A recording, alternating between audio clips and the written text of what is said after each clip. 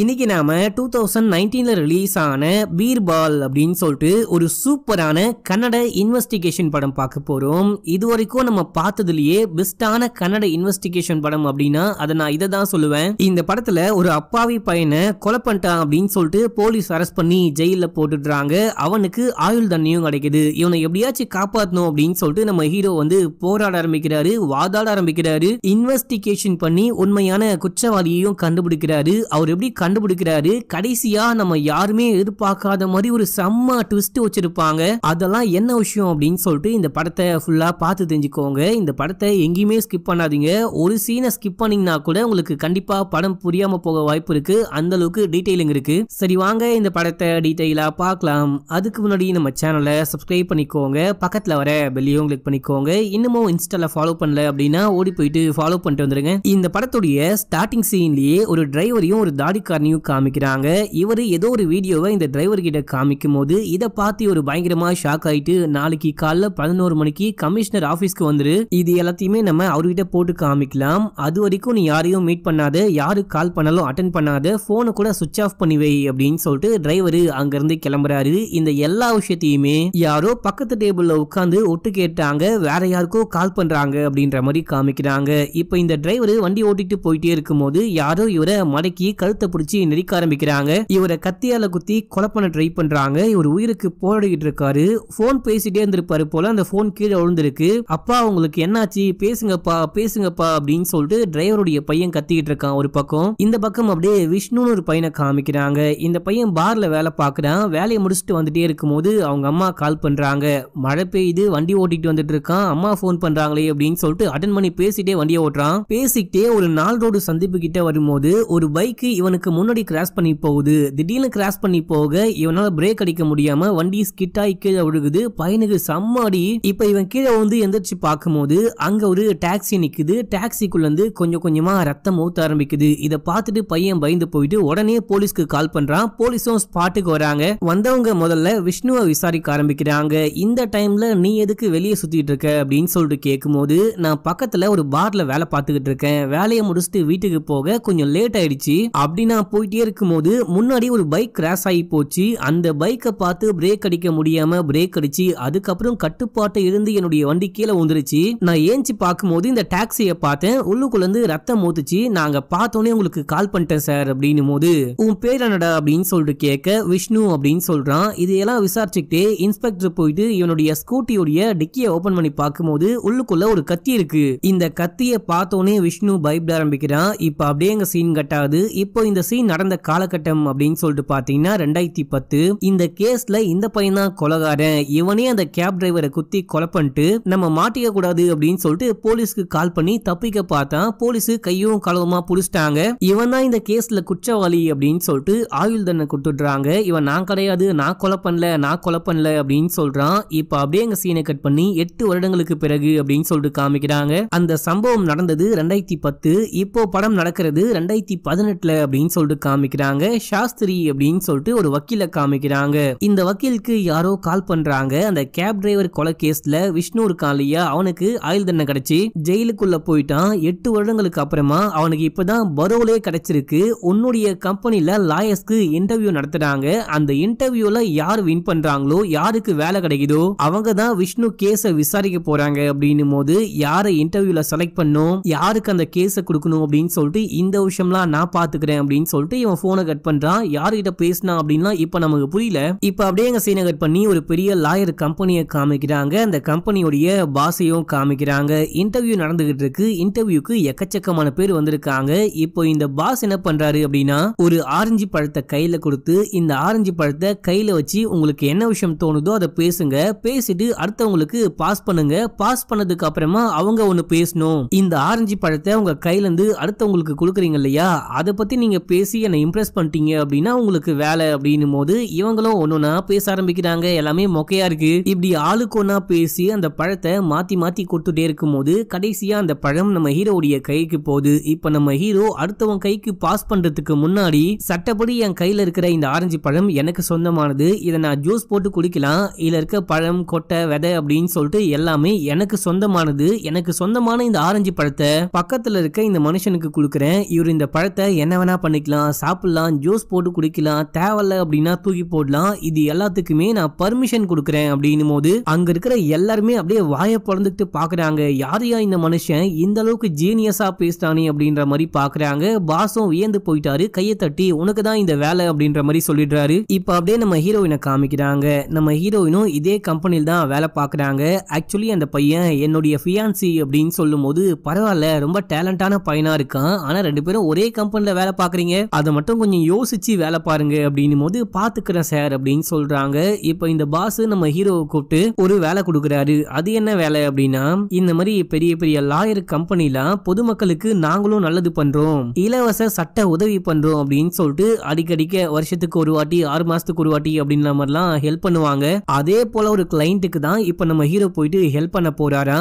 உனக்கு சாஸ்திரி ஹெல்ப் பண்ணுவாரு அப்படின்னு சொல்லிட்டு சாஸ்திரியை கூப்பிட்டு ஹெல்ப்புக்கு அப்படின்னு சொல்லிட்டு பாஸ் அங்கிருந்து வராரு இந்த பொண்ணும் நான் வரேன் அப்படின்னு சொல்லிட்டு போக நம்ம ஹீரோ இந்த பொண்ணுடைய கையை பிடிச்சி இழுத்து நீ சொன்ன மாதிரியே எனக்கு ஒரு வேலை கிடைச்சிருச்சு ஒரு கேஸும் கிடைச்சிருச்சு இப்பயாச்சும் உங்க அப்பா கிட்ட போயிட்டு பேசு அப்படின்னும் போது இதெல்லாம் ஒரு கேஸா? நீ எப்போ பெரிய கேஸ் எடுத்து அதை வாதாடி வின் பண்றியோ நான் அதுக்கப்புறம் தான் அப்பா கிட்ட போயிட்டு பேசுவேன் அப்படின்னு சொல்லிட்டு அந்த பொண்ணு அங்கிருந்து கிளம்புறா. சாஸ்திரி இந்த விஷயம்லாம் பாக்குறாரு யாவ் என்னையா ஆபீஸ்க்குள்ள நின்னு கையை பிடிச்சி இழுத்து விளையாடிட்டு இருக்க? இது ஆபீஸா இல்ல உன் வீடா? அப்படின்னு சொல்லிட்டு கேட்கும் போது ஆபீஸ் தான் சார் நான் ஒண்ணுமே பண்ணலையே அப்படின்னு சொல்லிட்டு நம்ம ஹீரோ சமாளிக்க ட்ரை பண்றாரு. இப்ப அப்படியே எங்க சீனை கட் பண்ணா நம்ம ஹீரோ சாஸ்திரி அதுக்கப்புறம் கேர்ள் ஃப்ரெண்டு இவங்க மூணு பேரும் சேர்ந்துட்டு விஷ்ணுவோடைய வீட்டுக்கு போறாங்க. நம்ம ஹீரோக்கு ஃபர்ஸ்ட் ஃபர்ஸ்ட் கிடைச்ச கேஸ் இந்த விஷ்ணுவோடைய கேஸ் தான். போயிட்டு அம்மாவை மீட் பண்ணி நாங்க பெங்களூர்ல இருந்து வந்திருக்கோம். விஷ்ணு கேஸ் விஷயமா பேச வந்திருக்கோம் அப்படின்னும் போது ஆமா சார் நான் தான் உதவி வேணும் அப்படின்னு சொல்லிட்டு லெட்டர் போட்டேன். உள்ளுக்குள்ள வாங்க அப்படின்னு சொல்லிட்டு கூட்டிட்டு போக வீடு முழுக்க என்னமோ வரையப்பட்டிருக்கு. அதாவது ஆக்ட்ரஸ் உடைய போட்டோ சாமி போட்டோ அப்படின்னு சொல்லிட்டு நிறைய விஷயங்கள் வரையப்பட்டிருக்கு. இதெல்லாம் யார் வரைஞ்சா அப்படின்னு சொல்லிட்டு கேட்கும்போது என் பையன் விஷ்ணு தான் உங்களுக்கு என்ன வேணும்? டீயா காஃபியா? அப்படின்னு சொல்லிட்டு கேட்டு இவங்க டீ போட்டு கொண்டு வரலாம் அப்படின்னு சொல்லிட்டு உள்ளுக்குள்ள போறாங்க. இந்த டைம்ல விஷ்ணு வரான் விஷ்ணு எப்படி வெளியே இருக்கான்? அப்படின்னு சொல்லிட்டு கேட்டீங்கன்னா இந்த பையனுக்கு இப்போ பரோல் கிடைச்சிருக்கு மக்களே நீங்களா யாரு? அப்படின்னு சொல்லிட்டு கேட்கும்போது நாங்க எல்லாருமே லாயர்ஸ் கேஸ் விஷயமா பேச வந்திருக்கோம் அப்படின்னும் போது இங்க கேஸும் கிடையாது ஒன்றும் கிடையாது முதல்ல வெளியே போங்க அப்படின்னு சொல்லிட்டு சண்டை போட ஆரம்பிக்கிறான். அம்மா வந்து பார்த்துட்டு டே என்னடாச்சு உனக்கு? உனக்காக தான் பேச வந்திருக்காங்க. வாதாட வந்திருக்காங்க. ஒழுங்கா வீட்டை விட்டு வெளியே போ அப்படின்னும் போது அந்த பையன் கத்திலாம் கொண்டு வந்து வெட்ட ட்ரை பண்றான். அம்மா தான் சமாதானம் பண்ணி வெளியே போக சொல்லி அமுச்சு விடுறாங்க. மூணு பேருக்கும் பயமாயிடுச்சு. என்னம்மா உங்க பையன் வெட்ட வரான் அப்படின்னு சொல்லிட்டு பார்க்கும்போது நீங்க ஒன்றும் தப்பா நினைச்சுக்காதீங்க. என் பையன் இந்த மாதிரி கொடூரமானவெல்லாம் கிடையாது. ரொம்ப ரொம்ப நல்ல பையனா இருந்தான். ஜெயிலுக்கு போனதுக்கு அப்புறம் தான் இந்த மாதிரி கொஞ்சம் மோசமா மாறி போயிட்டான். அது மட்டும் இல்லாம நிறைய லாயர்ஸ் வந்து இந்த கேஸ் எடுத்து வாதாடி நான் வின் பண்ணி கொடுக்குறேன் நான் வின் பண்ணி கொடுக்குறேன் அப்படின்னு சொல்லிட்டு காசை மட்டும் வாங்கிட்டு கேஸை ஆதாரம்லயே ஓடி போயிட்டாங்க. அதான் இவனுக்கு வக்கீல்களை பார்த்தாலே பயங்கர காண்டா இருக்கு அப்படின்னு சொல்லும் போது சரி ஓகே அதை விடுங்க என்ன விஷயமாச்சு? என்கிட்ட தெளிவா சொல்லுங்க அப்படின்னு சொல்லிட்டு கேட்க இந்த அம்மா எல்லா விஷயத்தையுமே சொல்றாங்க. சரி ஓகே நான் போயிட்டு உங்க பையன்கிட்ட பேசி பாக்குறேன் அப்படின்னு சொல்லிட்டு நம்ம ஹீரோ போயிட்டு பேச ஆரம்பிக்கிறாரு. இது ஒன்றும் அவ்வளோ பெரிய கேஸ் கிடையாது. நீங்க வந்துட்டு ஆல்ரெடி எட்டு வருஷத்தை ஜெயிலேயே கழிச்சிட்டீங்க. இது ஒரு சிம்பிளான ஒரு நஷ்ட ஈடு கேஸா மாறி போச்சு நீங்க அவங்களுக்கு ஏழு லட்சம் கொடுக்கணும் அப்படின்னு சொல்லிட்டு கோர்ட்டு சொல்லியிருக்காங்க.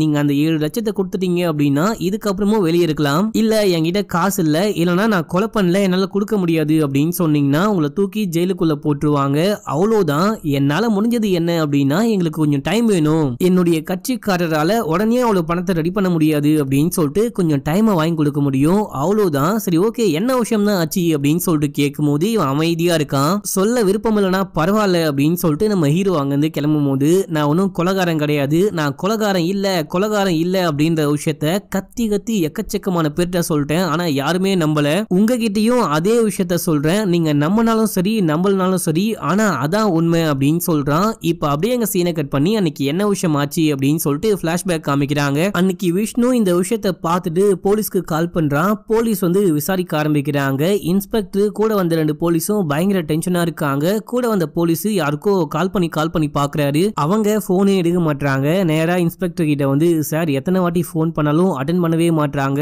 ஆளு அப்ஸ்காண்ட் ஆயிட்டான் போல ஓடி போயிட்டான் போல அப்படின்னும் போது இப்ப நம்ம என்னதான் பண்ண போறோம் அப்படின்னு சொல்லிட்டு யோசிச்சு நேரா விஷ்ணு கிட்ட போறாங்க போயிட்டு விசாரிக்க ஆரம்பிக்கிறாங்க. பேசிக்கிட்டே அந்த டிக்கியை ஓபன் பண்ணி பார்க்கும்போது உள்ளுக்குள்ள ஒரு கத்தி இருக்கு. அட பாவி அப்படின்னா நீ தான் கொலை பண்ணியா அப்படின்னு சொல்லிட்டு ஒரு ரகசிய இடத்துக்கு தூக்கிட்டு போயிட்டு போட்டு போல பொலன் பொழக்க ஆரம்பிக்கிறாங்க. ஒழுங்கா உண்மையை சொல்லு ஒழுங்கா உண்மையை சொல்லு அப்படின்னும் போது நான் கொலை பண்ணல சார். நான் வந்துட்டே இருக்கும் போது எவனோ ஒருத்தன் பைக்ல கிராஸ் பண்ணி போனா அவன் மேலே நான் முட்டிடக்கூடாது அப்படின்னு சொல்லிட்டு பிரேக் அப்போ தான் வண்டி ஸ்கிட் ஆகி கீழே விழுந்துருச்சு அப்படின்னும் போது பைக்கில் போனவன பாத்தியா? எப்படி இருந்தான் அப்படின்னு சொல்லிட்டு கேட்கும் போது ஹெல்மெட் போட்டிருந்தான் பார்க்கல அப்படின்னு சொல்கிறாரு என்னடா விசாரிக்க விசாரிக்க ஒவ்வொரு பொய்யா சொல்லிக்கிட்டு இருக்கியா? ஒன்று நாங்கள் நம்புற மாதிரி ஒரு பொய்யை சொல்லு. இல்லை அப்படின்னா நான் தான் கொலை பண்ணேன்னு ஒத்துக்கிட்டு ஒல்லுக்குள்ளே போட அப்படின்னும் போது நான் கொலை பண்ணல அப்படின்னு சொல்கிறான் இவன் அப்படியே தான் சொல்லிக்கிட்டு இருப்பான். இவனை எப்படி ஒத்துக்க வைக்கணும்? அப்படின்னு சொல்லிட்டு எனக்கு நல்லாவே தெரியும். நான் சொல்கிற மாதிரி எழுதிக்கோங்க அப்படின்னு சொல்லிட்டு இந்த விஷ்ணு அப்படின்ற பையன் அன்னைக்கு மழை பெஞ்சுக்கிட்டு இருக்கும் போது ஸ்கூட்டில வந்துட்டே இருக்க அந்த டாக்ஸி டிரைவர் கூட என்னமோ ஒரு பிரச்சனை ஏற்பட்டிருக்கு. அந்த பிரச்சனை கொஞ்சம் கொஞ்சமா பெருசாயிட்டு இவன் வண்டியை போயிட்டு அந்த டாக்ஸிக்கு முன்னாடி நிப்பாட்டி வண்டிக்குள்ள ஏறி அந்த டாக்ஸி டிரைவர் அடிச்சு கொலை பண்ணிட்டான். கொலை பண்ணது மட்டும் இல்லாம தான் மாட்டிக்க கூடாது.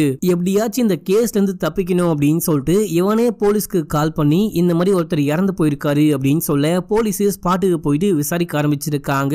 இவனுடைய வண்டியை செக் பண்ணி பார்க்கும்போது வண்டிக்குள்ள ஒரு கத்தி இருந்திருக்கு. இந்த கத்தியை யூஸ் பண்ணி விஷ்ணு தான் அந்த கார் டிரைவரை கொலை பண்ணிருக்காரு அப்படின்னு சொல்லிட்டு கேஸ போட்டு இவனை தூக்கி ஜெயிலுக்குள்ளேயும் போட்டிருக்காங்க. இந்த விஷயம் தான் ஆச்சு அப்படின்னு சொல்லிட்டு இந்த எல்லா விஷயத்தையுமே சாஸ்திரி நம்ம ஹீரோக்கு படிச்சு காமிக்கிறாரு. அப்படின்னா அந்த பையன் குற்றவாளி இல்லைன்னு சொல்றான். அப்படிதானே அப்படின்னு சொல்லிட்டு கேட்கும்போது அதான் சார். ஆனா இப்போ இந்த கேஸ் எடுத்து நம்ம என்ன பண்ண போறோம்? இதனால நமக்கு என்ன லாபம்? அப்படின்னு சொல்லிட்டு ஹீரோயின் கேட்க இது அவ்வளவு பெரிய கேஸ் கிடையாது. ஆனா அந்த பையன் சொல்றதெல்லாம் வச்சு பார்க்கும்போது எனக்கு அந்த பையன் குற்றவாளி இல்லையோ இந்த பையனை போலீஸ் தான் ஃப்ரேம் பண்ணிட்டாங்களோ அப்படின்னு சொல்லிட்டு தோணுது. நீ சொன்ன மாதிரி இது பெரிய கேஸ் கிடையாது. காம்பன்சேஷன் கேஸா மாறி போயிடுச்சு. ஏழு லட்சம் கொடுத்தா அந்த பையனால ஜாலியா வெளியவே வாழ முடியும். ஆனா அவ்வளவு பணத்தை அந்த பையனால கொடுக்கவும் முடியாது. என்ன விஷயம் பண்ணலாம்னு யோசிக்கலாம் அப்படின்னு சொல்லிட்டு அமைதியா உட்காந்துட்டு சாப்பிடுறதுக்கு ஆர்டர் போடுறாங்க. இப்போ சாப்பாடு பொருட்கள்லாம் கொண்டு வந்து வைக்கும் போது ஜூஸை இந்த சாஸ்திரிகள் மேல அந்த வயிற்று பையன் கொட்டி விட்டுறான். அவரு பயங்கரமா காண்டாயிட்டு கத்த ஆரம்பிக்கிறாரு. என்ன மன்னிச்சுக்கோங்க சார் நான் தெரியாம கொட்டிட்டேன். உங்களுக்கு வேணா வேற ஒன்று கொண்டு வந்து வைக்கிறேன் அப்படின்னும் போது இந்த விஷயத்த நம்ம ஹீரோ டக்குன்னு ஒரு மாதிரி நோட் பண்ணிட்டாரு. தம்பி இப்போ நீ என்ன சொன்ன? அப்படின்னு சொல்லிட்டு கேட்கும்போது இதுக்கு பதிலா வேற ஒன்று கொண்டு வந்து வைக்கிறேன் சார். அப்படின்னும் போது இதே விஷயம் தான் அப்படின்னு சொல்லிட்டு இப்ப நம்ம ஹீரோ ஒரு மீட்டிங் போடுறாரு. நான் இந்த கேஸ் எடுத்து வாதாட போறேன். அந்த பையனை பார்க்கும்போது எனக்கு இன்னசென்ட் மாதிரி தோணுது. அப்படின்னும் போது அதுக்கு நமக்கு சரியான எவிடன்ஸ் வேணும். அப்படின்னு சொல்லிட்டு பாஸ் சொல்றாரு. அது மட்டும் இல்லாம ஹீரோயின் என்ன சொல்றாங்க? அப்படின்னா போலீஸ் இதுக்கு தேவையில்லாம இந்த கேஸை இவன் மேல ஃப்ரேம் பண்ணும். போலீஸ்க்கு விஷ்ணு மேல பழிய போட வேண்டிய அவசியம் என்ன அப்படின்னு சொல்லிட்டு கேட்கும்போது ஏன்னா இறந்து போனவர் சாதாரண கேப் டிரைவர் மட்டும் கிடையாது அவர் ஒரு போலீஸ் இன்ஃபார்மரும் கூட அப்படின்னு சொல்லும்போது இதை நம்ம ஹீரோ சொன்னோன்னே எல்லாருமே பயங்கரமா ஆச்சரியப்படுறாங்க ஷாக்கும் ஆகுறாங்க. பரவாயில்ல பயபுள்ள இந்த அளவுக்கு வேலை பார்க்கறானா அப்படின்ற மாதிரி பாஸ் என்ன சொல்றாரு அப்படின்னா தம்பி நீ சொல்றது எல்லாமே ஓகே தான். முதல் விஷயம் இந்த கேஸை ரீஓபன் பண்ணும் அப்படின்னா நமக்கு சரியான எவிடன்ஸ் வேணும் கோர்ட்டை நம்ப வைக்கணும். அப்போதான் இந்த கேஸை ரீஓபனே பண்ண முடியும். அதையும் தாண்டி நிறைய பணமும் செலவாகும். அதை பற்றியும் கொஞ்சம் யோசிச்சு பாரு அப்படின்னும் போது சார் இப்போ நம்ம எதுக்காக இந்த இலவச சட்ட உதவியெல்லாம் பண்ணிக்கிட்டு இருக்கோம்? அப்படின்னு சொல்லிட்டு கேட்கும்போது எல்லாம் ஒரு பெருமைக்கு தான் எரும மேய்கிறோம். அதாவது இந்த கம்பெனி ஏழை மக்களுக்கு கூட உதவி செய்கிறாங்க அப்படின்னு சொல்லிட்டு நமக்கு ஒரு பேர் கிடைக்கும் அப்படின்னு சொல்லும் போது இப்போ இந்த கேஸ் எடுத்தாலும் நமக்கு அந்த பேர் கிடைக்கும். கேஸ் எடுத்து உண்மனு ப்ரூவ் பண்ணி வின் பண்ணிட்டோம் அப்படின்னா எட்டு வருஷத்துக்கு முன்னாடி முடிஞ்சு போன கேஸையே இந்த கம்பெனி ஓபன் பண்ணி விசாரிச்சு அதுல வின்னும் பண்ணி காமிக்கிறாங்க அப்படின்னா இவங்க கிட்ட திறமையான லாயர்ஸ்லாம் இருக்காங்க. இந்த கம்பெனி கம்பெனியை நம்ம நம்பலாம் அப்படின்னு சொல்லிட்டு நிறைய கிளைண்ட் நம்ம கம்பெனியை ட்ரஸ்ட் பண்ணி வருவாங்க. அது மூலியமாவே நம்ம செலவு பண்ணதை விட அதிகமாவே சம்பாதிச்சுக்க முடியும் அப்படின்னும் போது தம்பி சூப்பர்ப்பா தம்பி அப்படின்னு சொல்லிட்டு கையை தட்டி ஓகே இந்த கேஸ் எடுத்து வாதாடுங்க. முழு சப்போர்ட்டும் நான் பண்றேன் அப்படின்னு சொல்லிட்டு அவர் அங்கிருந்து கிளம்ப.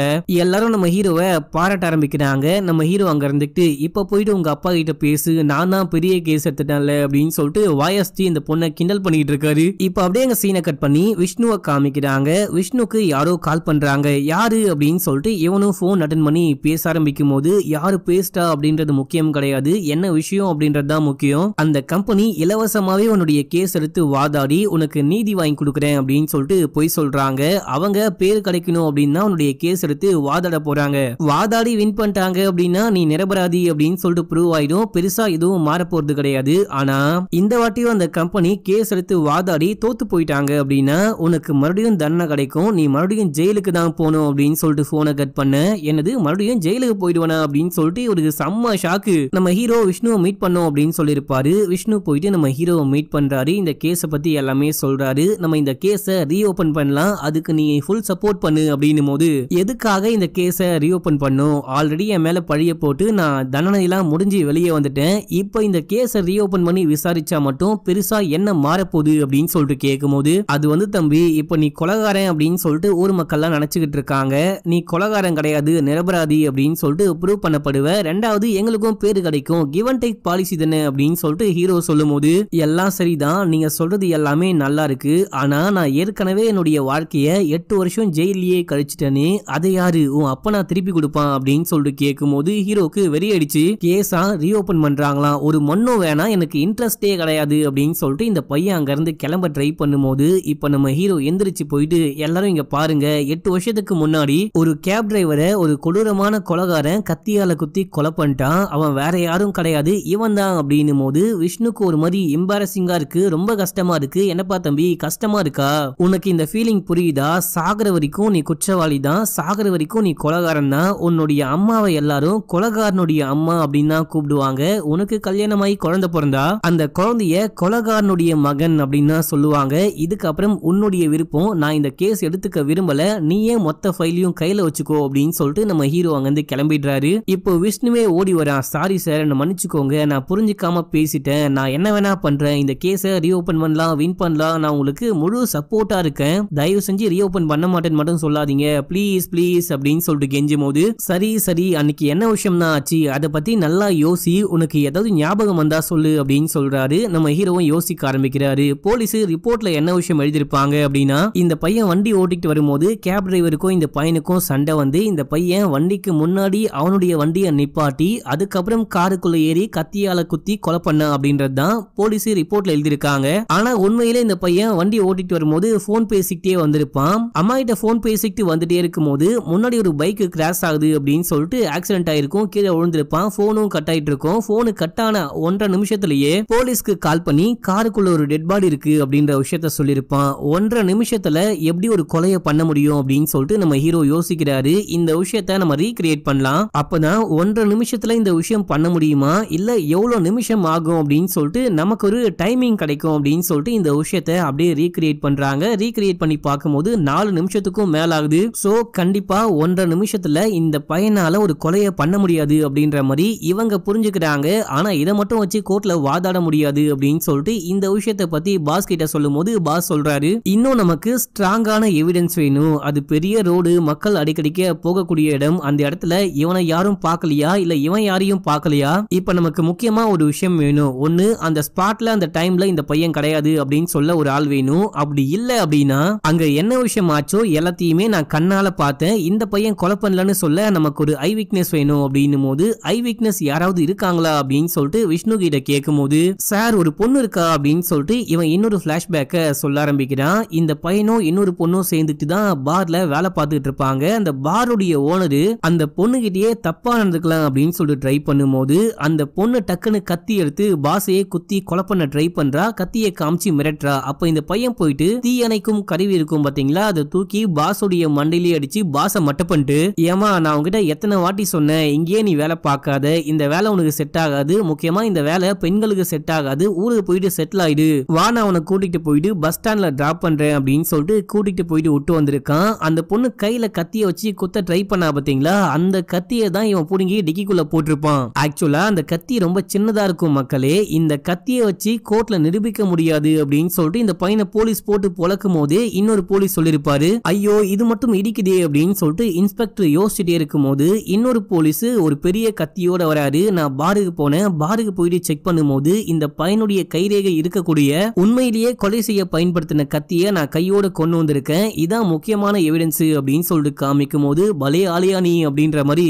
இன்ஸ்பெக்டர் அந்த கான்ஸ்டபிளை பாராட்ட ஆரம்பிக்கிறாரு. அந்த கத்தியை தான் வச்சு இந்த பையனை உள்ளுக்குள்ள தள்ளிருப்பாங்க இப்பதான் நம்ம ஹீரோவுக்கு புரியுது அந்த கத்தி எப்படி போலீஸ் கைக்கு கிடைச்சிருக்கும் அப்படின்னு சொல்லிட்டு விஷ்ணு மேல இருக்கிற கான்ல அந்த பாருடைய ஓனர் தான் போலீஸ் கிட்ட கத்தியை தூக்கி கொடுத்திருக்காங்க போல. இப்ப இந்த விஷயம்லாம் விஷ்ணு நம்ம ஹீரோ கிட்ட சொல்லி முடிக்கும் போது அந்த பொண்ணு எங்க இருக்கான்னு உனக்கு தெரியுமா? அப்படின்னு சொல்லிட்டு கேட்க தெரியல சார் அந்த பொண்ணை இறக்கி விட்டதுக்கு அப்புறமா அந்த பொண்ணு எங்க போனானே தெரியல. அப்படின்னும் போது அந்த பொண்ணு பொண்ணுடைய போட்டோ வச்சிருக்கியா அப்படின்னு சொல்லிட்டு கேட்கும்போது அவ என்ன என் கேர்ள் ஃப்ரெண்டா சார் அந்த பொண்ணை போட்டோ எடுத்து பச்சை குத்தி வச்சுக்கிறதுக்கு அந்த பொண்ணுடைய போட்டோலாம் என்கிட்ட இல்ல அப்படின்னு சொல்லும் போது ஆமா உனக்கு தான் வரைய தெரியும் இல்லையா? வரையறியா? அப்படின்னு சொல்லிட்டு கேட்கும்போது விஷ்ணு செம்ம ஐடியா சார் அப்படின்னு சொல்லிட்டு வரைய ஆரம்பிக்கிறான். வரைஞ்சு முடிச்சதுக்கு அப்புறமா இந்த பொண்ணை காணவில்லை அப்படின்னு சொல்லிட்டு அங்க இங்கன்னு போஸ்ட் அடிச்சு ஒட்ட ஆரம்பிக்கிறாங்க. இந்த பொண்ணை எங்கேயாச்சும் பாத்தீங்கன்னா எங்களுக்கு கால் பண்ணி சொல்லுங்க அப்படின்னு சொல்லிட்டு நம்பரையும் கொடுத்திருப்பாங்க. இப்ப அப்படியே எங்க சீன் கட்டாது நம்ம ஹீரோ ஆபீஸ்ல இருக்க இருக்கும்போது பாஸ் நம்ம ஹீரோ கிட்ட பப்ளிக் ப்ராசிக்யூட்டர் பார்த்த சாரதி உன்னை பார்க்க வந்திருக்காரு அப்படின்னும் போது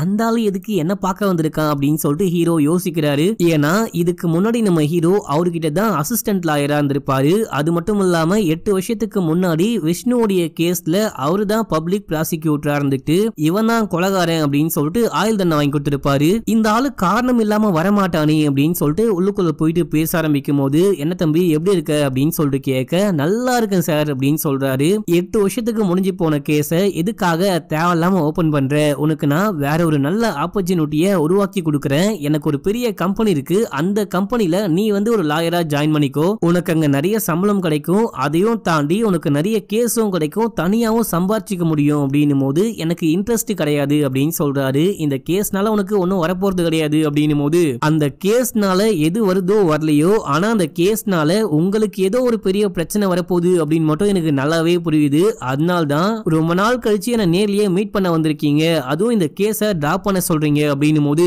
நீ என்ன வேணா பண்ணிக்கோ உன்னுடைய இஷ்டம். ஆனா இந்த லெட்டரை படிச்சு பார்த்துட்டு அதுக்கப்புறம் நீ போயிட்டு இந்த கேஸ் எடுத்து வாதாடலாமா வேணாமான்னு முடிவு பண்ணு அப்படின்னு சொல்லிட்டு பிபி இங்க இருந்து கிளம்புறாரு. இப்போ நம்ம ஹீரோவும் இது என்ன லெட்டரா இருக்கும்? ஒருவேளை இவர் நம்மள லவ் பண்றாரோ லவ் லெட்டரா இருக்குமோ அப்படின்னு சொல்லிட்டு அதை ஓபன் பண்ணி பார்க்கும்போது நம்ம விஷ்ணு ஜெயில இருக்கும்போது நான் தான் இந்த கொலையை பண்ணேன். என்னை மன்னிச்சிடுங்க. அந்த டைம்ல நான் ஒத்துக்கல. இப்போ நான் ஒத்துக்கிறேன். என்னுடைய அம்மா உடம்பு சரியில்லாமல் ரொம்ப ரொம்ப கஷ்டப்பட்டுக்கிட்டு இருக்காங்க. அவங்களுக்கு என்ன தவிர வேற பையனும் கிடையாது. பார்த்துக்க ஆளும் கிடையாது. நான் நான் பண்ண குற்றத்தை ஒத்துக்கிறேன். என்னை முடிஞ்ச அளவுக்கு சீக்கிரமா வெளியே அனுப்புங்க அப்படின்னு சொல்லிட்டு ஜட்ஜிக்கே ஒரு லெட்டர் எழுதி அமைச்சிருக்காரு. ஆட பாவி பைத்தியம் முடிச்ச வெட்டுக்கிளி என்ன வேறடா பார்த்து வச்சிருக்க? அப்படின்னு சொல்லிட்டு நம்ம ஹீரோ கார் எடுத்துட்டு கிளம்புறாரு. கிளம்பி போயிட்டு இருக்கும் போதே விஷ்ணுக்கு கால் பண்றாரு. கால் பண்ணி ஏன்டா அப்படி பண்ண? அப்படின்னு சொல்லிட்டு லெட்டரை பத்தி கேட்கும் போது அதை பத்தி கேக்குறீங்களா? அதை சொல்லக்கூடாது. உங்ககிட்ட மறைக்கணும் அப்படின்லாம் சொல்லாம விடல. அதை நான் எழுதுனது ஒரு இக்கட்டான சுச்சுவேஷன்ல தான் எழுதுனேன். அது வேண்முத்துக்குனே நான் பண்ணல அப்படின்னு சொல்லிட்டு இந்த பையன் மன்னிப்பு கேட்கிறான் உனக்கு கொஞ்சம் கூட அறிவே கிடையாது. உனக்கு நான் ஹெல்ப் பண்ணணும்னு வந்தேன் மாதிரி என்னதான் சொல்லணும் அப்படின்னு சொல்லிட்டு வண்டி ஓட்டிட்டு போயிட்டே இருக்கும்போது நம்ம ஹீரோவுடைய காரை ஒரு லாரி வந்து அடிச்சு தூக்குது. ஒரு பயங்கரமான ஆக்சிடென்ட்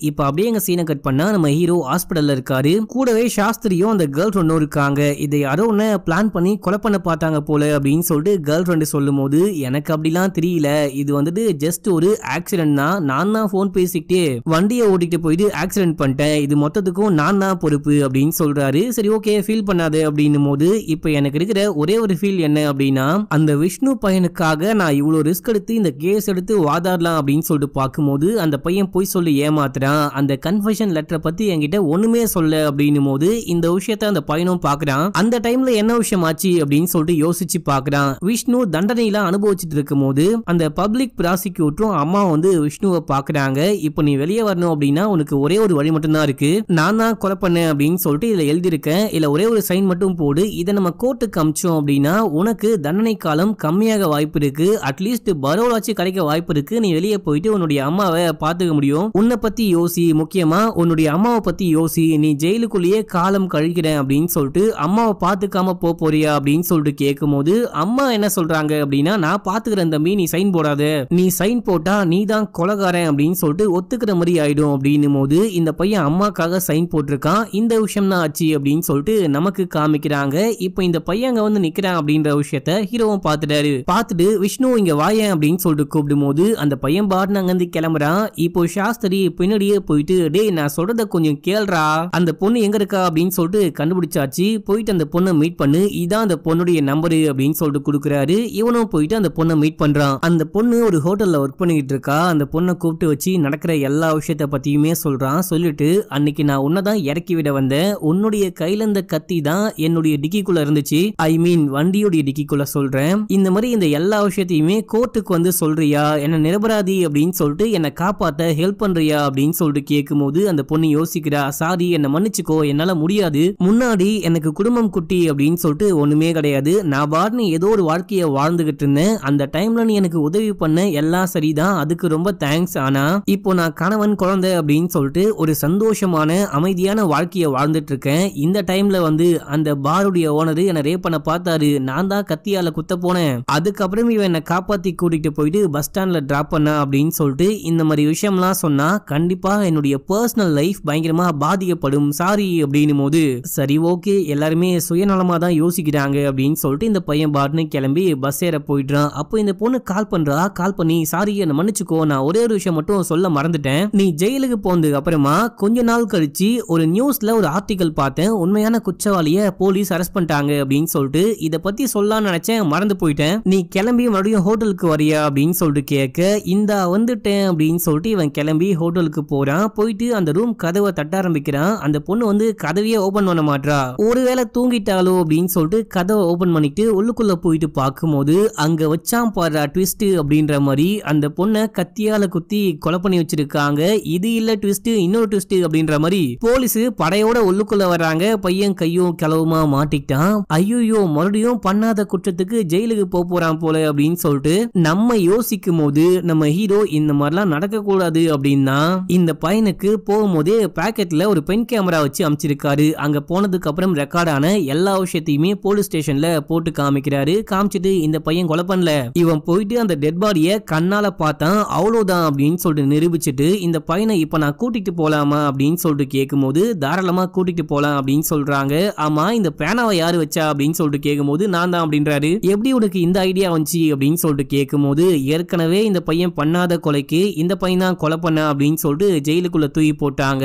இப்போ வேற அந்த கொலையை பண்ணல அப்படின்னு சொல்லிட்டு நாங்கள் சட்ட போராட்டம் நடத்திக்கிட்டு இருக்கோம். இந்த டைமில் ஏதாவது வேற ஒரு கேஸை போட்டு உள்ளுக்குள்ள தூக்கி போட்டாங்கன்னா இந்த கேஸை நடத்த முடியாது அப்படின்னா நான் சேஃப்டி கீ கொடுத்து அமிச்சேன் அப்படின்றாரு. இப்ப அப்படியே சீன் கட்டாது நம்ம ஹீரோ விஷ்ணுவை வெளியே கூட்டிட்டு வந்துட்டாரு. விஷ்ணு அந்த ஆர்டிக்கலை பத்தி ஹீரோ கிட்ட சொல்லும் போது நம்ம ஹீரோ சாஸ்திரி கிட்ட சொல்லி அந்த ஆர்டிக்கலை பத்தி விசாரிக்க சொல்றாரு. இதே டைம்ல விஷ்ணு போயிட்டு ஒரு போலீஸை மீட் பண்றான். இந்த போலீஸும் சேர்ந்துட்டு தான் நம்ம விஷ்ணு அடிச்சிருப்பாங்க. இவன் மேல பொய் கேஸ் போட்டு உள்ளுக்குள்ள தள்ளிருப்பாங்க என்ன உங்களுக்கு ஞாபகம் இருக்கா அப்படின்னு சொல்லிட்டு கேட்கும்போது உன்னை போயிட்டு என்னால மறக்க முடியுமா? என்னுடைய கடைசி கேஸ் உன்னுடைய கேஸ் தான். இப்போ உனக்கு என்ன வேணும்? அப்படின்னு சொல்லிட்டு கேட்கும் போது நான் ஜெயிலுக்குள்ள போனதுக்கு அப்புறமா ஒரு ஒன்பது மாதங்கள் கழிச்சு யாரோ உங்களுக்கு கால் பண்ணி உண்மையான குற்றவாளி விஷ்ணு கிடையாது வேற ஒருத்தன் எனக்கு அந்த குற்றத்தை பத்தி எல்லாமே தெரியும்னு சொன்னானாமே அது என்ன விஷயம் ஆச்சு? அப்படின்னு சொல்லிட்டு கேட்கும்போது இப்போ அப்படியே நமக்கு அந்த சீனை காமிக்க ஆரம்பிக்கிறாங்க. நம்ம விஷ்ணு ஜெயிலுக்கு போயிட்டு ஒன்பது மாதங்கள் ஆகுது இந்த கேஸ்லாம் முடிஞ்சு போச்சு அப்படின்னு சொல்லிட்டு பார்க்கும்போது அந்த இன்ஸ்பெக்டர் இல்லாத டைம்ல ஏதோ ஒரு பையன் கால் பண்றான் அந்த காலை இந்த மொட்டை தான் அட்டன் பண்றாரு. ஒன்பது மாதங்களுக்கு முன்னாடி அந்த ரவுண்ட் ஆனாவாண்ட ஒரு கேப் டிரைவரை யாரோ கொலை பண்ணாங்க இல்லையா?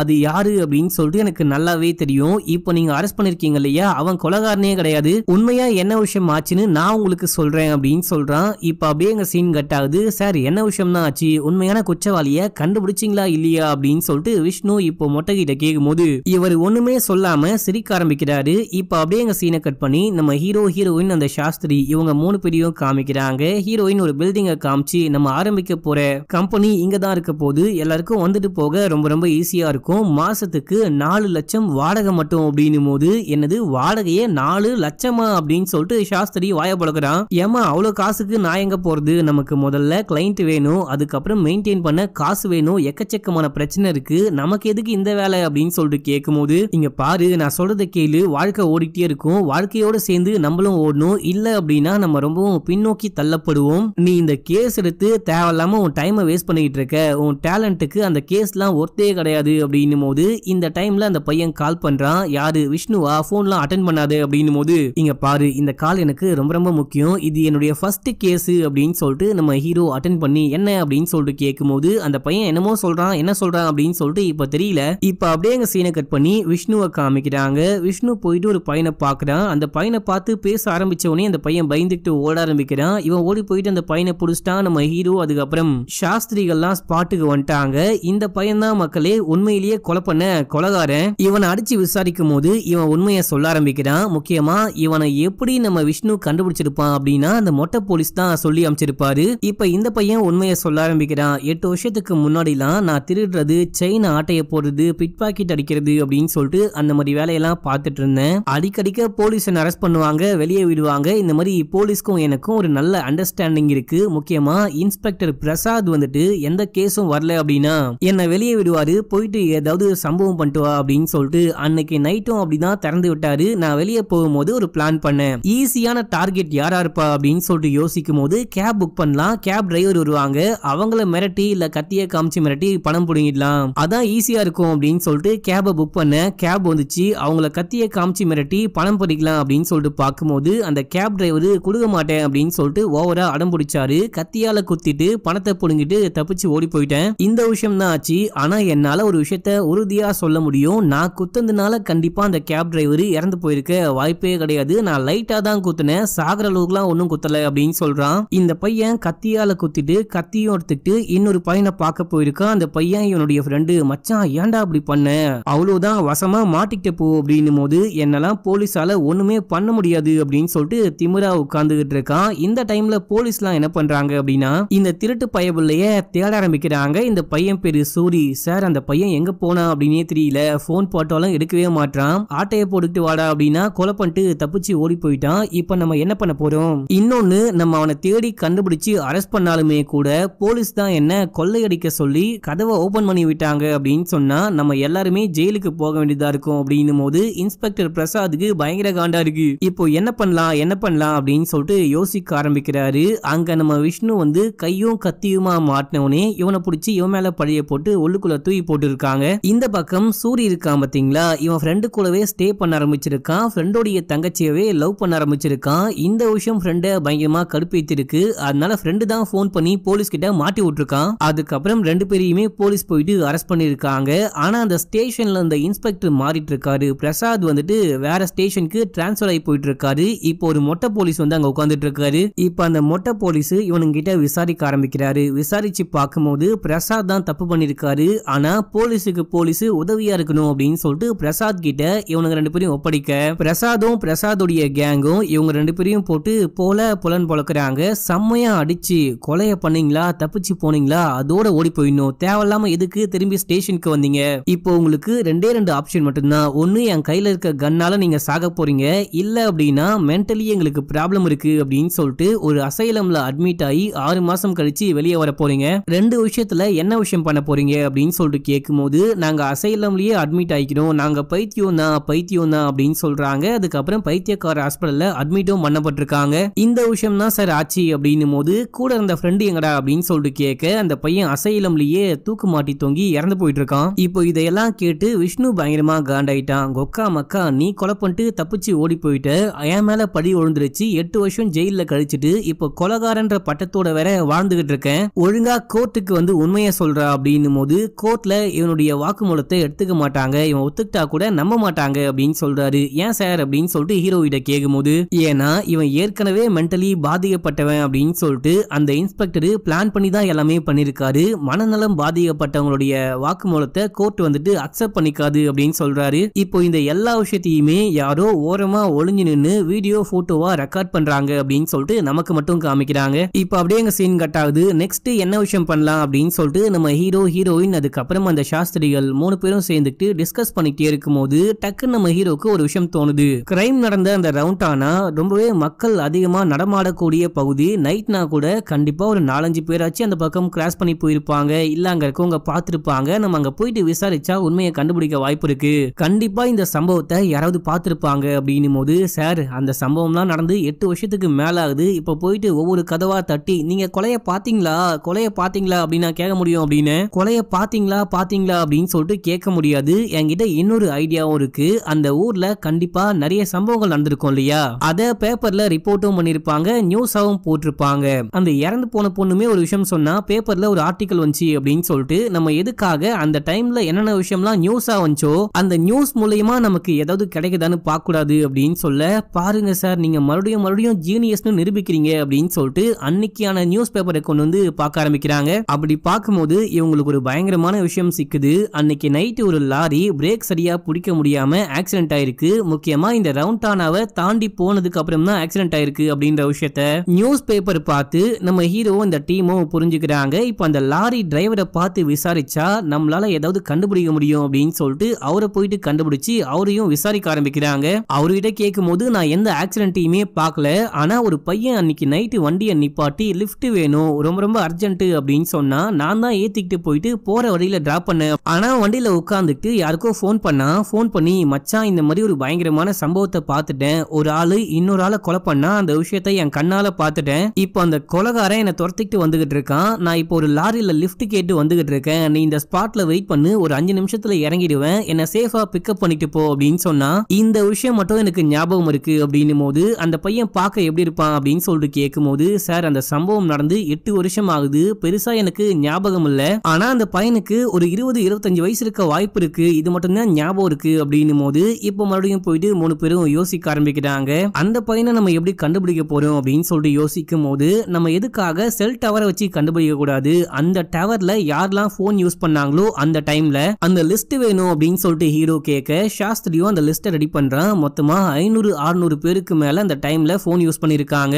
இதுல யாரெல்லாம் ரொம்ப ரொம்ப கம்மியான டைம் பேசினாங்களோ முக்கியமா ஒரு நிமிஷத்துக்குள்ள பேசினாங்களோ அவங்கள மட்டும் ஃபில்டர் பண்ணி தனியா எடு அப்படின்னும் போது அப்படி பார்த்தா கூட முந்நூறு பேருக்கு மேல பேசியிருக்காங்க அப்படின்னும் போது இதுல ஆண்களை மட்டும் தனியா ஃபில்டர் பண்ணி எடு அப்படின்னு சொல்றாரு. ஏன்னா ஃபோன் பண்ணி பேசினவன் ஒரு ஆண் தான் லிஃப்ட் கேட்டு போனவன் ஒரு ஆண் தான் கண்டிப்பா அது ஒரு ஆணுடைய சிம்மா தான் இருக்கணும் அப்படின்னு சொல்ல ஐயா சாமி அப்படி பார்த்தா கூட நூறு பேருக்கும் மேல அந்த டைம்ல ஆண்கள் ஃபோன் யூஸ் பண்ணிருக்காங்க இவங்க நூறு பேருகிட்டயும் போயிட்டு நீங்க கொலைய பாத்தீங்களா கொலைய பாத்தீங்களா அப்படின்னு சொல்லிட்டு கேட்க முடியாது சாமி அப்படின்னும் போது ஆமால அதுவும் கஷ்டம் தான் அப்படின்னு சொல்லிட்டு நம்ம ஹீரோ யோசிக்க ஆரம்பிக்கிறாரு. என்ன பண்ணலாம்? நல்லா யோசிங்க யோசிங்க. அப்படின்னும் போது அங்க ஒரு அண்ணா இவங்க பேசிக்கிட்டு இருக்க எல்லா விஷயத்தையும் கேட்டுக்கிட்டு இருக்காரு. தம்பி நீங்க பேசிக்கிட்டு இருக்க எல்லா விஷயத்தையும் நான் கேட்டுக்கிட்டு தான் இருக்கேன். எவன் கொலை நடந்த அன்னைக்கு மறுநாளே போனை சுவிச் ஆஃப் பண்ணி அதுக்கப்புறம் அந்த சிம்மை யூஸ் பண்ணாம இருக்கானோ அவன் தான் அன்னைக்கு பார்த்தவன். அப்படின்னும் போது செம ஐடியா அப்படின்னு சொல்லிட்டு அந்த மாதிரி ஃபில்டர் பண்ணும்போது ஒரு பையன் மாற்றான் அந்த பையனை போயிட்டு மூணு பேரும் மீட் பண்றாங்க. அவர்கிட்ட விசாரிக்கும் போது ஆமா அன்னைக்கு நான் பார்த்தேன். அப்படின்னு சொல்லிட்டு அன்னைக்கு என்ன விஷயம் ஆச்சுன்னு சொல்ல ஆரம்பிக்கிறாரு. அன்னைக்கு நைட் ஷோ பார்த்துட்டு வீட்டுக்கு போயிட்டு இருந்தேன். செமையா மழை பெஞ்சிட்டு இருந்தது. ஒயின் ஷாப் போயிட்டு சருக்கு வாங்கிட்டு வீட்டுக்கு போலாம் அப்படின்னு சொல்லிட்டு நானும் ஒயின் ஷாப்புக்கு போயிட்டு பார்க்கும்போது கடை க்ளோஸ்ல இருந்துச்சு. சரி ஓகே கடைக்காரனுக்கு கால் பண்ணலாம் அப்படின்னு சொல்லிட்டு ஃபோன் ட்ரை பண்ணேன். ஃபோனை யாருமே எடுக்கவே இல்லை. இந்த டைம்ல பார்க்கும்போது ஆள் அறவுமே இல்லாத நடு ரோட்ல கார் நிற்குது காரு அப்படியே குலுங்க ஆரம்பிக்குது. நான் என்ன நினைச்சேன் அப்படின்னா காருக்குள்ள காதல் ஜோடி கசமுசா பண்ணிட்டு இருக்காங்க போல. இதை நம்ம ரெக்கார்ட் பண்ணலாம் அப்படின்னு சொல்லிட்டு ரெக்கார்ட் பண்ண ஆரம்பிச்சேன். அப்போதான் ஒரு கை ரத்தக்கரையோட அந்த விண்டோல படுறத பார்த்தேன். எவா உள்ளுக்குள்ள காதல் ஜோடி கசமுசா பண்ணல வேற எவனோ கலவரம் பண்ணிக்கிட்டு இருக்கான் அப்படின்னு சொல்லிட்டு அமைதியா ஓடி போக ட்ரை பண்ணும்போது அந்த டைம்ல சனைய முடிச்ச என் போனு ரிங் அடிக்க ஆரம்பிச்சுது. ஒயின் ஷாப் காரனுக்கு ஒரு ஃபோன் பண்ணிருப்பாரு ஃபோன் எடுக்கவே இல்லைல்ல அவர் திருப்பி கால் பண்றாரு போல. இப்போ இந்த சவுண்ட கேட்டு கொலகாரன் இவரை நோட் பண்ணிட்டு இருக்கான். நோட் பண்ணது மட்டும் இல்லாம எவன்டா அவன் அப்படின்னு சொல்லிட்டு விரட்ட ஆரம்பிக்கிறான். இவர் பயந்துக்கிட்டு ஓட ஆரம்பிக்கிறாரு. ஓடி போனவரு அந்த பக்கம் அந்த ஒரு லாரியை நிப்பாட்டி ஏறி லிப்ட் கேட்டு அங்கிருந்து போயிட்டு இருக்காரு. இந்த விஷயம் தான் ஆச்சு அப்படின்னு சொல்லும்போது நீங்க அந்த கொலகாரனுடைய முகத்தை பாத்தீங்களா அவன் பார்க்க எப்படி இருப்பான் அப்படின்னு சொல்லிட்டு ஹீரோ கேட்க இல்ல சார் அன்னைக்கு செமையா மழை பெஞ்சிட்டு இருந்துச்சு. என்னால அவர் ஃபேஸை பார்க்க முடியல. அதுக்கப்புறம் அவரு ஹெல்மெட்டும் போட்டிருந்தாரு அப்படின்னு சொல்ல அட்லீஸ்ட் அந்த வீடியோவாச்சும் இப்போ இருக்கா? அப்படின்னு சொல்லிட்டு கேட்கும்போது அவர் செக் பண்ணி பார்த்துட்டு வீடியோ இருக்கு அப்படின்றாரு. சாஸ்திரிக்கு செம ஷாக்கு எட்டு வருஷம் ஆச்சு எப்படி வீடியோ வச்சிருக்கீங்க? அப்படின்னு சொல்லிட்டு கேட்கும்போது அந்த டைம்ல நான் ஒரு பொண்ணை லவ் பண்ணிட்டு இருந்தேன். முக்கியமான வீடியோ போட்டோஸ்லாம் அந்த போன்ல மெமரி கார்டில் சேவ் ஆயிருந்துச்சு. அந்த மெமரி கார்டை அப்போலேருந்து இப்போ வரைக்கும் பத்திரமா வச்சிருக்கேன். உங்கள் லக்கு நான் செக் பண்ணி பார்க்கும்போது உள்ளுக்குள்ளே அந்த வீடியோ அப்படியே இருக்கு அப்படின்னு சொல்றாரு. இவங்க இப்படி பேசிட்டே இருக்கும்போது போலீஸ் டீமோட வராங்க. அதுவும் அந்த இன்ஸ்பெக்டர் பிரசாத் வந்து தம்பி உன் மேலே ஒரு கம்ப்ளைண்ட் வந்திருக்கு. அப்படின்னும் போது என்ன கம்ப்ளைண்ட்டு என் மேலே யார் கம்ப்ளைண்ட் கொடுத்தா? அப்படின்னு சொல்லிட்டு கேட்கும்போது கீதா அப்படின்ற பொண்ணை லவ் பண்ணி மற்ற எல்லா விஷயமும் பண்ணி ஏமாத்திட்டியா? வா ஸ்டேஷன் போகலாம் இந்த ஃபோனுக்குள்ளே முக்கியமான விஷயம்லாம் இருக்க வாய்ப்பு இருக்குது ஃபோனையும் கொடு அப்படின்னு சொல்லிட்டு பிடுங்கிட்டு கூட்டிகிட்டு போயிடுறாங்க. நம்ம ஹீரோ ஹீரோக்கா? செம்ம ஷாக்கு என்னடா? இந்த கேஸே முடிய போகுது அப்படின்னு சொல்லிட்டு பார்க்கும்போது இன்னும் இழுத்துக்கிட்டு போகும் போலயே அப்படின்னு சொல்லிட்டு நம்ம ஹீரோவால ஒன்றும் பண்ண முடியல. அமைதியா இருக்காரு. செம்ம கடுப்புல போயிட்டு தனியா நின்றுகிட்டு இருக்கும்போது பாஸ் வந்து ஹீரோவை மீட் பண்றாரு. என்ன விஷயம் ஆச்சுன்னு கேட்கும்போது நம்ம ஹீரோ நடந்த எல்லா விஷயத்தையுமே சொல்லிட்டு இந்த விஷயம் எப்படி வெளியே லீக் ஆச்சு அப்படின்னு எனக்கு தெரியல. நாங்க அந்த பையனை பார்க்க போறோம் அப்படின்ற விஷயம் எனக்கு சாஸ்திரிக்கு அதுக்கப்புறம் கேர்ள் ஃப்ரெண்டுக்கு இவங்களுக்கு மட்டும்தான் தெரியும். அப்படி இருக்கும்போது எப்படி இந்த விஷயம் அந்த போலீஸ்காரனுக்கு தெரிய வந்திருக்கும் அப்படின்னு சொல்லிட்டு யோசிக்கும் போது தம்பி நான் ஒரு விஷயம் சொல்றேன். இதை மட்டும் நீ மனசுல வச்சுக்கோ. உனக்கு கூட இருக்கவங்க உனக்கு ஹெல்ப் பண்றவங்க எப்பயுமே உனக்கு மட்டும் ஹெல்ப் பண்ணுவாங்க அப்படின்னு சொல்லிட்டு கிடையாது. உனக்கு துரோகம் பண்ணவும் வாய்ப்பு இருக்கு அப்படின்னு சொல்லிட்டு போறாரு. இதை நம்ம ஹீரோ அப்படியே யோசிச்சுட்டே இருக்கும்போது நடுவுல நம்ம கேர்ள் ஃப்ரெண்ட் தான் திடீர்னு பார்த்தா ஒரு கம்பெனியை நம்ம வாடகைக்கு எடுக்க போறோம். இங்கே தான் கம்பெனி ஆரம்பிக்க போறோம் அப்படின்னு சொல்லிட்டு என்னென்னமோ சொன்னா ஒருவேளை அந்த பொண்ணு தான் நம்மளை ஏமாத்திட்டாலோ அப்படின்னு சொல்லிட்டு அந்த பொண்ணுடைய ஆபீஸ் ரூமுக்கு போயிட்டு செக் பண்ணி பார்க்கும்போது அந்த பப்ளிக் ப்ராசிக்யூட்டர் கிட்ட இருந்து இந்த பொண்ணு செக்கா பணம் வாங்கியிருக்கா. இதை பார்த்து நம்ம ஹீரோ செமையா காண்டாகிறாரு செமையா ஷாக் ஆகுறாரு. இந்த டைம்ல இந்த பொண்ணும் வந்துட்டு எல்லாமே நான் உனக்கு எக்ஸ்பிளைன் பண்றேன். இப்போ இந்த கேஸை நீ வாதாடி என்ன பண்ண போற? உனக்கு ஒன்றும் கிடைக்க போறது கிடையாது. ஒண்ணுமில்லாத ஒரு பையனை நான் லவ் பண்றேன். அவன் இப்பதான் ஒரு ஒண்ணுமில்லாத கேஸை தூக்கி வாதாடிக்கிட்டு இருக்கான்னு சொன்னா என்னுடைய அப்பா உனக்கு கல்யாணம் பண்ணி வைப்பாரா? நீயே யோசிச்சு பாரு. இந்த கேஸை மட்டும் டிராப் பண்ணா பல லட்சம் பணம் கொடுக்குறேன் அப்படின்னு சொல்றாங்க. அது மட்டும் இல்லாம நமக்கு வேலையும் கொடுக்குறேன். சம்பாதிக்க ஒரு வழியும் காமிக்கிறேன் அப்படின்னு சொல்றாங்க. அப்படி இருக்கும்போது நம்ம புத்திசாலித்தனமா தான் யோசிக்கணும் அப்படின்னும் போது பணம் தான் எல்லாமேவா பணம் தான் முக்கியமா? அப்படின்னு சொல்லிட்டு கேட்கும்போது பணம் தான் முக்கியம். உனக்கு உடம்பு சரியில்லை அப்படின்னு சொல்லிட்டு நீ ஹாஸ்பிட்டலுக்கு போனா கூட காசு கொடுத்தாதான் உனக்கு ஆப்ரேஷனே நடக்கும். இல்லனா செத்தா சாகட்டும் அப்படின்னு சொல்லிட்டு டாக்டர் கூட ஆப்ரேஷன் பண்ணாம அங்கிருந்து கிளம்பி போயிடுவாரு. நல்லா யோசிச்சு பாரு அப்படின்னு சொல்லிட்டு அந்த பொண்ணு அங்கிருந்து கிளம்புறா. நம்ம ஹீரோக்கு ரொம்ப ரொம்ப மனசு கஷ்டமா இருக்கு. இந்த பொண்ணு கூடவே இருந்துட்டு இந்த மாதிரி துரோகம் பண்ணிட்டாலே அப்படின்னு சொல்லிட்டு ஃபீல் பண்ண ஆரம்பிக்கிறாரு. ஃபீல் பண்ணி ஒன்றும் பண்ண போறது இல்லை அப்படின்னு சொல்லிட்டு வேலையை ஸ்டார்ட் பண்றாரு. ஆனா என்ன பண்றது அப்படின்னு சொல்லிட்டு நம்ம ஹீரோக்கு புரியவே இல்லை. புரியாம உட்காந்துட்டே இருக்கும்போது சாஸ்திரி கால் பண்றாரு. கால் பண்ணி பாஸ் நீங்க ஒன்றும் ஃபீல் பண்ணாதீங்க. போலீஸ் போனை தான் கொண்டு போயிருக்காங்க. மெமரி கார்டு என்கிட்ட தான் இருக்கு. நான் உங்களுக்கு அந்த வீடியோவை ஷேர் பண்ற பாருங்க அப்படின்னு சொல்லிட்டு மெயில் பண்ண சாஸ்திரி சூப்பரியானி அப்படின்னு சொல்லிட்டு ஓபன் பண்ணி பார்க்கும்போது நம்ம ஹீரோக்கு அந்த வீடியோல இருந்து ஒரு விஷயம் மாட்டுது ஒரு விஷயம் தோணுது. என்னன்னா அந்த கொலகாரன் கொலை பண்ணிட்டு வெளியே வரும்போது போனோட வரான். கண்டிப்பா அவன் போனை யூஸ் பண்ணிருப்பான் அப்படின்ற விஷயத்த புரிஞ்சுக்கிட்டு நம்ம ஹீரோவும் சாஸ்திரியும் சேர்ந்துக்கிட்டு அந்த போன் நம்பர் எதுவா இருக்கும் அப்படின்னு சொல்லிட்டு கண்டுபிடிக்க ட்ரை பண்றாங்க. அப்படி எப்படி எப்படியோ கண்டுபிடிச்சு ஃபில்டர் பண்ணி பார்க்கும்போது ஒரு நம்பர் மட்டும் பிரைவேட் நம்பர் அப்படின்னு சொல்லிட்டு வருது. பிரைவேட் நம்பரா ஒருவேளை இந்த கொலகாரன் மிகப்பெரிய ஆளா இருப்பானோ? ஏன்னா கலெக்டர் போலீஸ் சிஎம் அந்த மாதிரி பதவியில இருக்கவங்க தான் தன்னுடைய நம்பரை யாரும் ட்ராக் பண்ணி பார்க்க கூடாது அப்படின்னு சொல்லிட்டு பிரைவேட் நம்பர் அப்படின்ற மாதிரி ஆக்சஸ கட் பண்ணி வச்சிருப்பாங்க.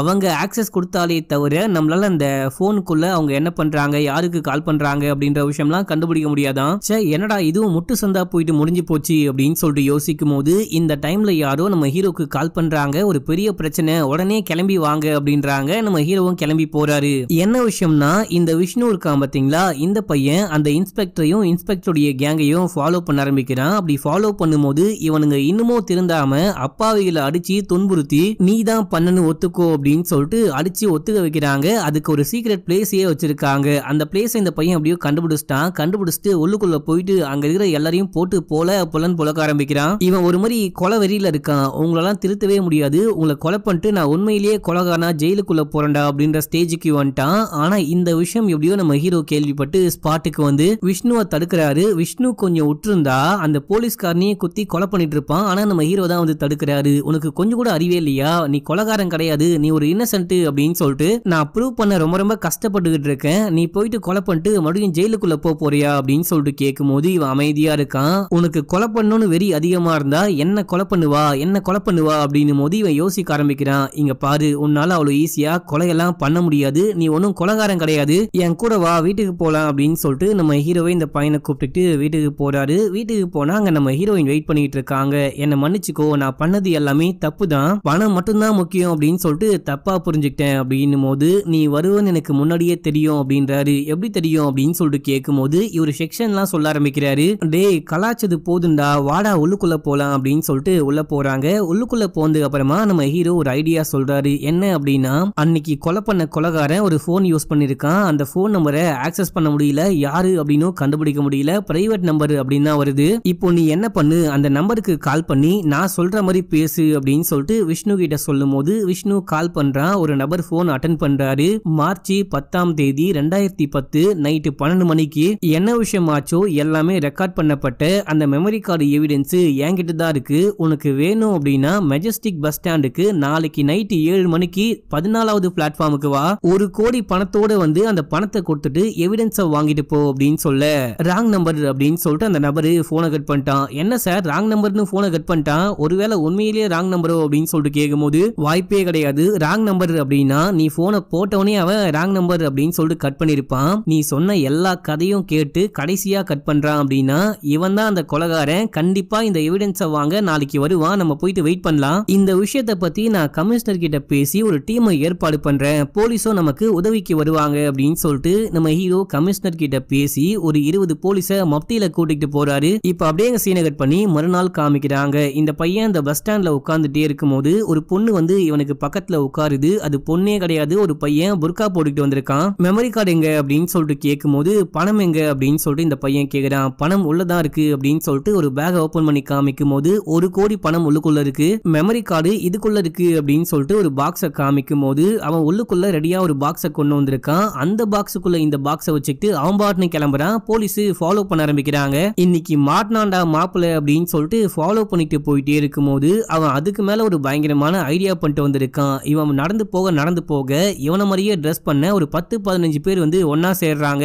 தக்காளி இந்த சீன்லாம் பார்க்கும்போது நானே மரசல் ஆயிட்டேன். இந்த சீனு சும்மா பங்கமா இருக்கும். என்ன மாதிரி யோசிச்சுட்டு வந்திருக்கான் பாரு அப்படின்ற மாதிரி இருக்கும். இப்போ போலீஸால ஒண்ணுமே பண்ண முடியல. ஆனா நம்ம ஹீரோ என்ன பண்ணிருக்காரு அப்படின்னா ஒரு பாக்ஸ கொடுத்தாரு பாத்தீங்களா? அந்த பாக்ஸ்ல ட்ராக்கிங் டிவைஸ் இருக்கான். நம்ம அந்த டிவைஸை ஃபாலோ பண்ணிட்டு போலாம் அப்படின்னு சொல்லிட்டு ஃபாலோ பண்ணிட்டு போயிட்டே இருக்கும்போது ஒருத்த மட்டும் தனியா சந்துக்குள்ள போயிட்டு யாருக்கோ கால் பண்றான். கால் பண்ணி சார் பணத்தை கொடுத்துட்டு அந்த எவிடன்ஸை வாங்கிட்டேன். இப்போ நான் எங்க வரட்டும்? அப்படின்னு சொல்லிட்டு கேட்கும்போது அந்த உண்மையான கொலகாரம் இருக்கான் பாத்தீங்களா? அவன் ஏதோ ஒரு விஷயத்த சொல்றான். சரி ஓகே சார் வரேன் அப்படின்னு சொல்லிட்டு கிளம்புறான். இந்த எல்லா விஷயத்தையுமே நம்ம ஹீரோ பார்த்துட்டாரு. போலீஸ் டீமும் பார்த்துட்டாங்க. அப்படியே ஃபாலோ பண்ண ஆரம்பிக்கிறாங்க. ஃபாலோ பண்ணிட்டு போயிட்டு பார்க்கும்போது அந்த பையன் மாடி மேல நிக்கிறான். இப்போ கன்னை காமிச்சு மிரட்டி கையை தூக்குடா அப்படின்னும் போது பார்த்தா கையில பெட்டியே காணும். பெட்டி எங்கடா போச்சு அப்படின்னு சொல்லிட்டு பார்க்கும்போது அந்த கொலகாரன் ஒரு ட்ரோனை வச்சு அந்த பெட்டியை தூக்கிட்டு போயிட்டு இருக்கான். சே நம்மளால உண்மையான கொலகாரனை பிடிக்க முடியாம போயிடும் போல அப்படின்னும் போது அவ்வளோலாம் கவலைப்படாதீங்க. அதுக்கும் நான் ஒரு ஐடியா பண்ணியிருக்கேன் அப்படின்னு சொல்லிட்டு ஹீரோ சொல்லும் போது இப்போ அந்த கொலகாரன் ட்ரோன் மூலியமா அந்த பாக்ஸை வாங்கி பாக்ஸை ஓபன் பண்ண ஆரம்பிக்கிறான். பாக்ஸை ஓபன் பண்ணா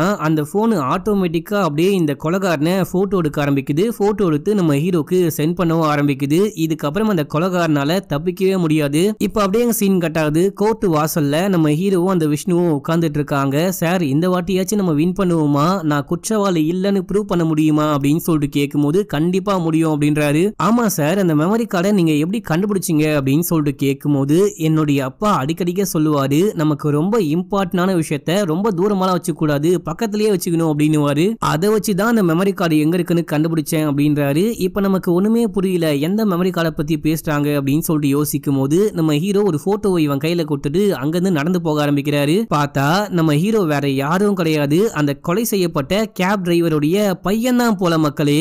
அடங்கொய்யால தலை வெடிக்கிற மாதிரி ட்விஸ்ட் ட்விஸ்ட் அப்படின்னுவாங்களே. அது இதுதானா அப்படின்ற மாதிரி என்னையே யோசிக்க வச்ச சீன் இது. இவங்க எந்த மெமரி கார்டை பத்தி பேசுறாங்க அப்படின்னா ஒரு குட்டி கதையை சொல்றேன். அந்த கதையை கேட்டாதான் உங்களுக்கு நல்லாவே புரியும். ஸ்டார்டிங் சீன்ல நம்ம ஹீரோடைய அப்பா போயிட்டு ஒரு தாடிக்காரனை மீட் பண்ணிருப்பாரு. அவன் ஏதோ ஒரு வீடியோவை போட்டு காமிச்சிருப்பான். நாளைக்கு கமிஷனர் ஆபீஸ்ல மீட் பண்ணலாம் அப்படின்னு சொல்லிட்டு ஹீரோடைய அப்பா அங்கிருந்து கிளம்பி போயிருப்பாரு. அதுக்கப்புறம் தான் ஒரு கொலகாரன் கொலை பண்ணிருப்பான். அந்த கொலகாரன் வேற யாரும் கிடையாது. ரெண்டாவதா புதுசா ஒரு இன்ஸ்பெக்டர் வந்தாரு பாத்தீங்களா? மொட்டை போலீஸ். அவரு தான் மக்களே அவரு தான் கொலகாரன். இந்த மொட்டை போலீஸ் நிறைய மினிஸ்டர்ஸு எம்எல்ஏக்கெல்லாம் கைக்கூலியா செயல்பட்டிருக்காரு. யாரெல்லாம் அவங்கள எதிர்க்கிறாங்களோ அவங்க எல்லாரையுமே கொலை பண்ணி அந்த டெட் பாடியை சுடுகாட்டுக்கு கொண்டு போய் எரிச்சிருக்காரு. அந்த சுடுகாட்டுல வேலை செய்யறவனுக்கு காசும் கொடுத்துருக்காரு. இந்த எல்லா விஷயத்தையுமே சுடுகாட்டுல வேலை செய்கிறவன் வீடியோவா ரெக்கார்ட் பண்ணிருக்கான் ஸ்டார்டிங் சீன்ல ஒரு தாடிக்காரனை காமிச்சாங்க பாத்தீங்களா? அவரு தான் அந்த சுடுகாட்டுல வேலை செய்யக்கூடிய வெட்டியான். இந்த வெட்டியானுக்கு பணம் கிடைச்சாலுமே ரொம்ப ரொம்ப மனசு உறுத்த ஆரம்பிச்சிருக்கு. நம்ம பண்றது ரொம்ப ரொம்ப தப்பு. நம்ம பண்றதை விட இந்த போலீஸ்காரன் பண்றது ரொம்ப பெரிய தப்பு அப்படின்னு சொல்லிட்டு நம்ம ஹீரோவுடைய அப்பாவை பார்த்து இந்த வீடியோவை போட்டு காமிச்சிருக்காரு. மெமரி கார்டையுமே கையோட கொடுத்து அமைச்சிருக்காரு வந்துகிட்டு இருக்கும் போது தான் இந்த போலீஸ்காரன் வந்து நம்ம ஹீரோவுடைய அப்பாவை கொலை பண்ணிருக்கான் அந்த டைம்ல கரெக்டா நம்ம ஹீரோ கால் பண்ணி பேசியிருக்காரு. ஸ்டார்டிங் சீன்ல கூட அப்பா என்ன விஷயமாச்சு? அப்பா என்ன விஷயமாச்சு? அப்படின்னு சொல்லிட்டு ஒரு சவுண்டு கேட்டிருக்கும். அது வேற யாரும் கிடையாது. நம்ம ஹீரோ தான். அப்பாலாம் இறந்து போனதுக்கு அப்புறமா இந்த உண்மையான கொலகாரனை கண்டுபிடிக்கணும் அப்படின்னு நம்ம ஹீரோ லா படிச்சிருக்காரு. அதுக்கு ஹீரோவுடைய ஃப்ரெண்டு ஹெல்ப் பண்ணிருக்காரு அந்த ஃப்ரெண்டு வேற யாரும் கிடையாது. சாஸ்திரி தான். நம்ம ஹீரோவும் சாஸ்திரியும் பிளான் போட்டு இந்த கேஸ் எடுத்து நடத்த நமக்கு ஒரு பெரிய சப்போர்ட் வேணும் எக்கச்சக்கமான பணமும் வேணும் அப்படின்னு சொல்லிட்டு இந்த கம்பெனியில் வந்து ஜாயின் பண்ணிருக்காங்க அதுக்கப்புறம் இந்த கேஸ் எடுத்து நம்ம ஹீரோ உண்மையான குற்றவாளியுமே கண்டுபிடிச்சிட்டாரு அப்படின்ற மாதிரி காமிச்சு இந்த படத்துடைய ஸ்டோரியும் முடிக்கிறாங்க. அந்த மெமரி கார்டு எங்க இருந்துச்சு அப்படின்னு சொல்லிட்டு பாத்தீங்கன்னா நம்ம ஹீரோவுடைய அப்பாவுடைய ஷூல இருந்திருக்கும். அந்த ஷூல இருக்க மெமரி கார்டை நம்ம ஹீரோ கண்டுபிடிச்சிருப்பாரு. அந்த மெமரி கார்டை வச்சு தான் அந்த கொலகாரனை மிரட்டி வர வச்சு கடைசியா நம்ம ஹீரோ கண்டும் முடிச்சிருப்பாரு மக்களே. என்ன மக்களே நான் நான் ஸ்டார்டிங்கில் சொன்ன மாதிரியே சும்மா வெறித்தனமாக இருந்துச்சா? உங்களுக்கு இந்த படம் பிடிச்சதா இல்லையா? அப்படின்னு சொல்லிட்டு மறக்காம கீழே கவுண்ட் பண்ணுங்க. நான் ஒழுங்காக பேசினேன்னா இன்னும் என்ன மாதிரிலாம் பேசலாம் அப்படின்னு சொல்லிட்டு கொஞ்சம் சஜஷன்ஸையும் கமெண்ட்ல போட்டு விடுங்க. சப்ஸ்கிரைப் பண்ணாம பாக்குறீங்க அப்படின்னா பண்ணிக்கோங்க. பக்கத்தில் வர பெல்லையும் கிளிக் பண்ணிக்கோங்க. இன்னமும் இன்ஸ்டால ஃபாலோ பண்ணல அப்படின்னா ஓடி போயிட்டு ஃபாலோ பண்ணிட்டு வந்துருங்க. ஓகே மக்களே பாய்